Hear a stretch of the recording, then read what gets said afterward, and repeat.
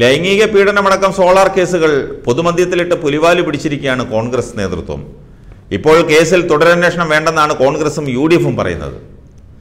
നേരത്തെ C B I report പുറത്തു വന്ന ശേഷം ഇക്കാര്യത്തിൽ വിശദമായ അന്വേഷണം വേണമെന്നാണ് വി ഡി സതീശനും യു ഡി എഫ് നേതാക്കളും ആവശ്യപ്പെട്ടത്. അന്വേഷണം ആകാമെന്ന് മുഖ്യമന്ത്രി നിയമസഭയിൽ അറിയിക്കുകയും ചെയ്തു.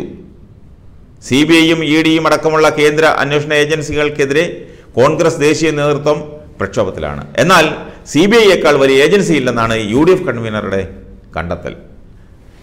സോളാർ ലൈംഗിക ആരോപണ കേസിൽ മുൻ മുഖ്യമന്ത്രി ഉമ്മൻചാണ്ടിക്കെതിരായ പരാതിയിൽ തെളിവില്ലെന്ന് മാത്രമാണ് സി ബി ഐ കണ്ടെത്തിയിരിക്കുന്നത്.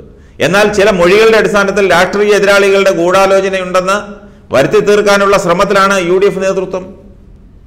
ഉമ്മൻചാണ്ടിക്കെതിരെ ഉയർന്ന വിഷയത്തിൽ മാത്രം ലഭിച്ച ആനുകൂല്യം സാമ്പത്തിക തട്ടിപ്പ് കേസിലും ലൈംഗിക ആരോപണത്തിലും കോൺഗ്രസിലെ മറ്റ് നേതാക്കൾക്ക് കൂടി ലഭ്യമാകൂ എന്ന തന്ത്രമാണ് പയറ്റാനൊരുങ്ങുന്നത്. യു ഡി എഫ് നേതാക്കളുടെ തന്നെ ഗൂഢാലോചനയിൽ ഉദയം കൊണ്ട സോളാർ കേസിന്റെ പേരിൽ മുഖ്യമന്ത്രി രാജിവെക്കുക എന്ന പതിവ് മുദ്രാവാക്യം ഉയർത്താനാണ് ധാരണ. എന്നാൽ ഉമ്മൻചാണ്ടിയെ മുഖ്യമന്ത്രി സ്ഥാനത്ത് നിന്ന് നീക്കി കസേര തട്ടിയെടുക്കാൻ ശ്രമിച്ചവരിൽ തിരുവഞ്ചൂർ രാധാകൃഷ്ണന് നേരെയാണ് തെളിവുകളുടെയും ആരോപണങ്ങളുടെയും കൂന്തമുന ഉയരുന്നത്.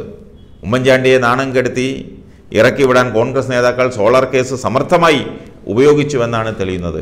തിരുവഞ്ചൂരിനെതിരെ മുമ്പും ഈ ആരോപണം ഉയർന്നെങ്കിലും കൂടുതൽ വ്യക്തത വരുത്തുന്ന വിവരങ്ങളാണ് ഇപ്പോൾ പുറത്തു വരുന്നത്.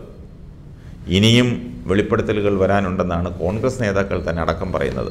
ഉമ്മൻചാണ്ടിയുടെ പേരുള്ള പരാതിക്കാരിയുടെ കത്ത് പുറത്തു വരാൻ അതിയായ താല്പര്യം കാണിച്ചെന്ന് അന്ന് മന്ത്രിസഭയിലുണ്ടായിരുന്ന മുൻ ആഭ്യന്തരമന്ത്രിമാർ ചില ദൂതർ വഴി തന്നെ സമീപിച്ചിരുന്നുവെന്ന് ദല്ലാൾ നന്ദകുമാർ വ്യക്തമാക്കിയിരുന്നത്. മുഖ്യമന്ത്രിയായ ഉമ്മൻചാണ്ടിയെ പോലും അറിയിക്കാതെയായിരുന്നു സോളാർ കേസിൽ തിരുവഞ്ചൂർ നടത്തിയ അറസ്റ്റും മറ്റ് ചില നടപടികളുമെന്നും ഉമ്മൻചാണ്ടിയെ ഇത് അത്ഭുതപ്പെടുത്തിയെന്നുമാണ് കെ സി ജോസഫ് സാക്ഷ്യപ്പെടുത്തിയത്. ദീർഘകാലം ഉമ്മൻചാണ്ടിക്കൊപ്പം നിന്ന തിരുവഞ്ചൂർ നിർണായക ഘട്ടത്തിൽ കൂറിമാറി വഞ്ചിച്ചുവെന്നാണ് എ ഗ്രൂപ്പുകാരുടെ ആക്ഷേപം. തിരുവഞ്ചൂർ സോളാർ കേസിലെ പ്രതികളുമായി പല സ്ഥലങ്ങളിൽ വെച്ച് കണ്ടിരുന്നുവെന്നതും ആരോപണങ്ങളെ സ്വാധീനിക്കുന്നു.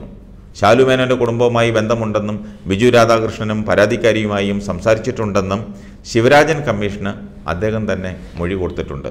സോളാർ കേസിൽ ഉമ്മൻചാണ്ടിയെ കൂട്ടിക്കെട്ടാൻ ആവശ്യമായ വിവരങ്ങളും അദ്ദേഹത്തിന്റെ മൊഴിയിലുണ്ട്.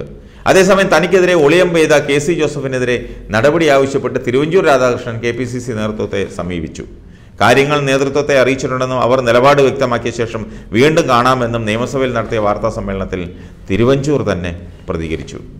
യു ഡി എഫിലെ രണ്ട് മുൻ ആഭ്യന്തരമന്ത്രിമാർക്കെതിരായ ആരോപണം എന്തുകൊണ്ട് അറിയില്ല അതിന് മറുപടി പറയുന്നില്ല. ഉമ്മൻചാണ്ടിയെ താഴെ ഇറക്കാനുള്ള ചിന്തയേ ഉണ്ടായിരുന്നില്ല. രമേശ് ചെന്നിത്തലയുടെ കാര്യം അദ്ദേഹം പറയട്ടെ എന്നുമാണ് തിരുവഞ്ചൂർ പറഞ്ഞത്.